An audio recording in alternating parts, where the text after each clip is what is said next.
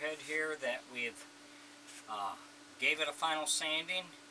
Then we took a damp cloth and we wiped it all off because you want to get that sawdust off of there. And then we're going to use this wood here and if it's a little too thick, add a little water. You want to make it just a little more pasty because you want it to spread better.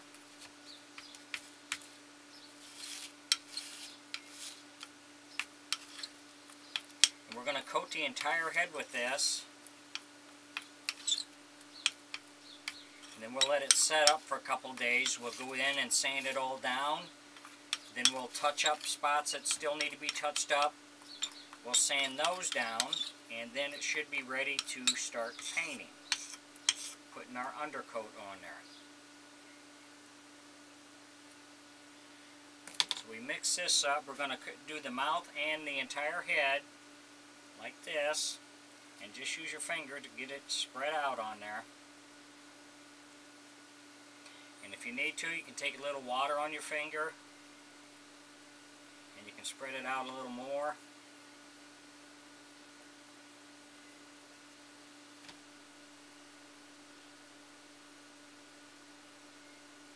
But you want to be liberal with it, make sure you get everything covered. This will, then when you go to sand it down, this will get rid of all those little scratches and stuff you have in there from sanding and carving.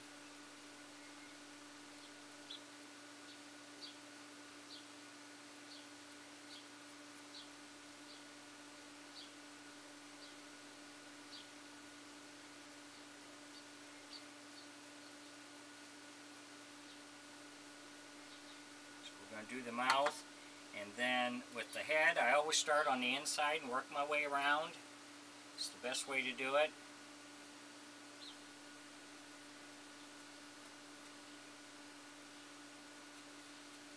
like I said use a little water on your finger if you want to spread it out a little more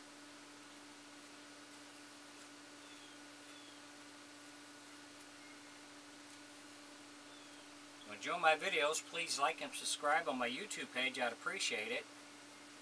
If you have any questions or comments, put in my comments section. I'll get back with you.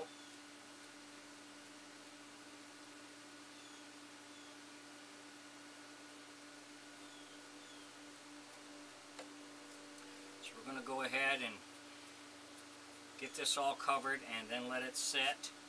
And where you have your holes up here for your drill. The reason why you inset them was so you can cover them up. So that's what we'll do with that. Same thing with the ears. We inset those screws so we can put this putty in here and get them covered up. And normally this is where you need to put a second coat on these because when they dry they do kind of sink in a little bit. So we're going to keep working on this let it set up, then we'll come back with the next step.